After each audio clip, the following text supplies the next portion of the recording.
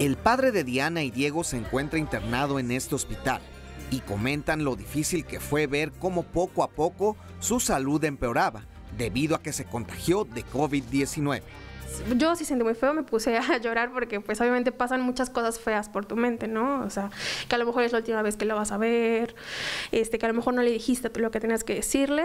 Sin embargo, a través de la tecnología como estas tabletas, pudieron estar presentes en los momentos más difíciles para su padre.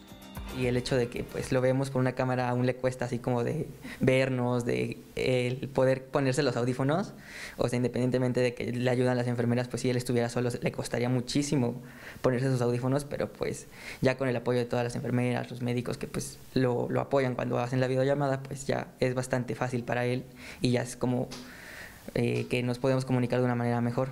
Para que esto pueda funcionar, las trabajadoras sociales son fundamentales Comenzamos desde el familiar, que nos den números telefónicos, eh, hacemos las videollamadas, hay una trabajadora social en piso con nuestros pacientes y una trabajadora social que monitorea junto con el psicólogo eh, las palabras que se dicen. Asimismo, los expertos afirman que este tipo de interacción ayuda tanto a la familia como a los pacientes. Nos tratamos de trabajar siempre, disminuir la ansiedad y de repente la depresión. A veces los pacientes nos están ansiosos, tienen ideas eh, eh, obsesivas de repente de que hay algún otro familiar enfermo, de que algún otro familiar está eh, grave igual que él. Entonces de repente lo que nosotros tratamos de trabajar en esta parte, cuando están hospitalizados, disminuir esta ansiedad. El padre de Diana y Diego se recupera satisfactoriamente y sus hijos esperan poder abrazarlo muy pronto.